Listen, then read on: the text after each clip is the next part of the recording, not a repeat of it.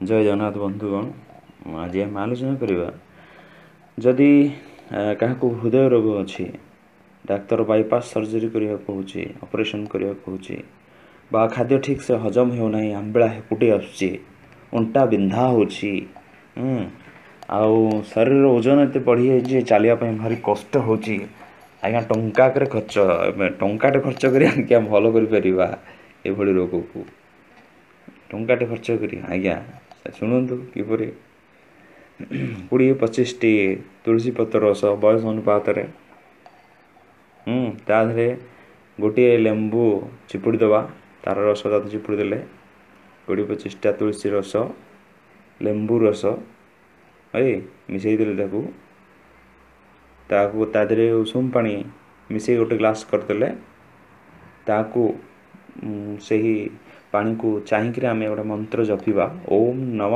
ନାରାୟଣାୟ ଠିକ୍ ଅଛି ଓମ୍ ନମ ନାରାୟଣାୟ ଏ ମନ୍ତ୍ର ପଚିଶ ଥର ଜପିବା ଜପି ସାରିଲା ପରେ ସେହି ପାଣିକୁ ଅଳ୍ପ ଅଳ୍ପ କରି ଆମେ ଖାଇବା ପିଇବାନି ଖାଇବା ଚାହା ପିଇଲା ଭଳିଆ ତାକୁ ଖାଇବା କେତେବେଳେ ସକାଳେ ଠିକ୍ ଅଛି ଆ, ସକାଳେ ଖାଲି ପେଟରେ ଗାଧୋଇ ସାରିଲା ପରେ କାରଣ ତୁଳସୀ ସେବନ କରାଯାଏ ଗାଧୋଇ ସାରିଲା ପରେ। ତ ସପ୍ତାହକୁ ଦୁଇଥର ଠିକ୍ ଅଛି? ତ ଏଭଳି ଯଦି ଆମେ କରିବା ଆସ୍ତେ ଆସ୍ତେ ଦେଖିବା ଆମ ରୋଗ ଭଲ ହେଇଯାଉଛି।